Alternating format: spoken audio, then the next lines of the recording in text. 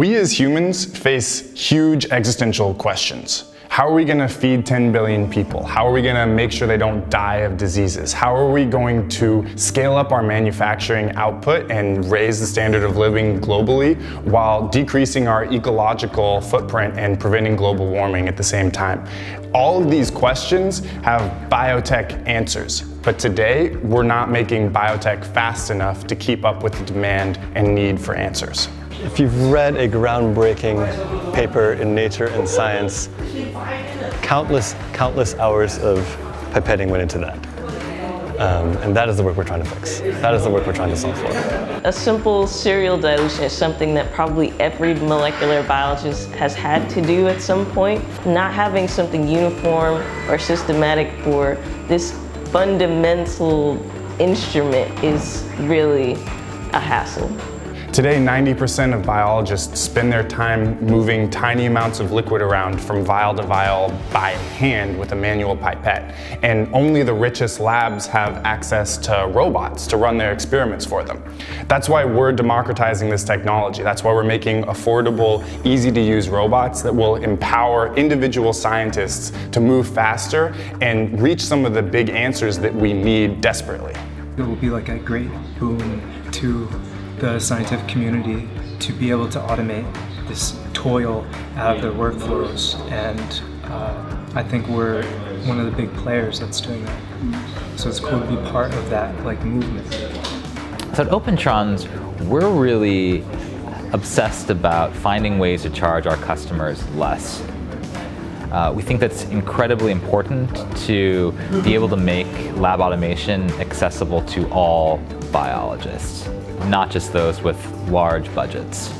The challenge of making the OT2 was how to make a precision industrial machine at a price point that every lab can afford, as opposed to what's currently out there today. I mean, when we first started off this business, no one believed this robot pricing.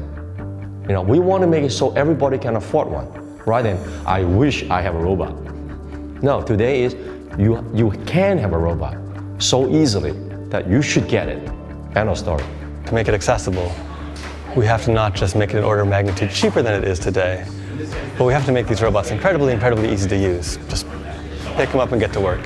Fortunately for us, I think we've already solved the first problem, and we have the right team of people here, scientists, hardware engineers, software engineers, really creative designers, to solve the second problem.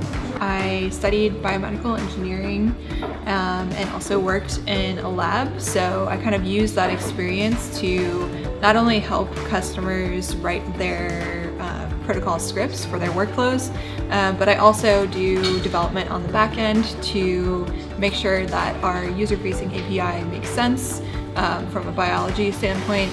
And just in general makes sense with the robot. A lot of our customers have never had a robot before, but they also don't write Python. And um, with the OT one, you would have to either write the Python yourself or have our team write it for you. We're hoping that the protocol designer will empower people to sort of take charge of their own robot science experience.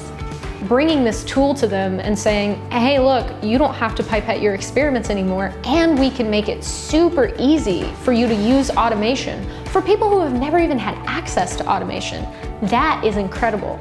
It's really exciting as a user researcher to be able to spend time in the lab speaking with these folks, understanding what are your friction points, where can we make your experience more delightful? I think people should come work at Opentrons because at its best it really captures the spirit of science. It wants data to be reproducible, be accurate, and at its best that's what science is. Something really collaborative and something that is reproducible and accurate and contributes to knowledge.